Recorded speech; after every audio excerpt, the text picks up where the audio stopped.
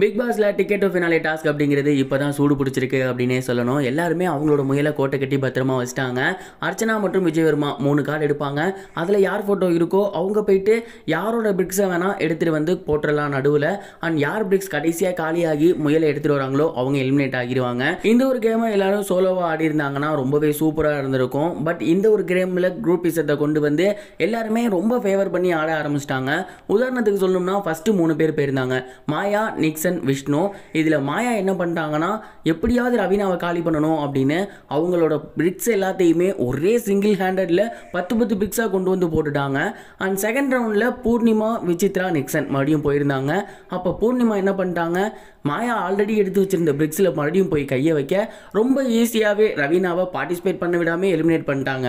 இந்த கேம் முழுக்க முழுக்க லக் ஃபேக்டர் தான். யாரோட ஃபோட்டோ வருதோ அவங்க அகைன் அண்ட் அகைன் இந்த கேமில் இருக்கலாம். அப்படி பார்க்கும்போது ஃபஸ்ட்டும் சரி செகண்டும் சரி நிக்சனோட ஃபோட்டோ வந்துருச்சு. அவர் ஃபஸ்ட்டு போய் தினேஷோட அடிமட்டத்தை கலைச்சிட்டாரு.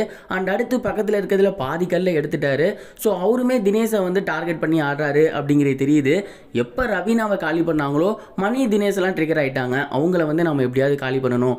நம்ம போனால் அடுத்து பூர்ணிமாவை எப்படியாவது முடிச்சிடலாம் அப்படின்னு. ஸோ இப்போ இந்த டிக்கெட் டு ஃபினாலேக்கு முழுக்க முழுக்க குரூப்பிசமாக மாறிட்டு இருக்கு காலையில் நிக்சன் வந்து சண்டை போட்டிருந்தார் இல்லையா? எப்படி நீங்கள் வந்து இன்னொருத்தருக்காக கேம் ஆடிட்டு இருக்கீங்க சேவ் பண்ணிட்டு இருக்கீங்க அப்படின்னு. அங்கே கேட்குறவர் அப்படியே மாயா பூர்ணிமாவை பார்த்து கேட்டு இருக்கணும் ஏன்னா மாயா போய் கையை வச்ச நைன்ட்டி பர்சன்டேஜில் தான் பேலன்ஸ் இருந்த பத்து பர்சன்டேஜில் பூர்ணிமா போய் கையை வச்சாங்க. ஸோ இவங்க வந்து பேசி வச்சு தான் பண்ணுறாங்க அப்படிங்கிறது கிளியராக தெரியுது. ஸோ கண்டிப்பாக இதற்காக ஒரு குறும்படம் போட்டே ஆகணும். யார் இதை ஸ்டார்ட் பண்ணி விட்டாங்க? இதை பேசி வச்சு தான் ஸ்டார்ட் பண்ணாங்களா?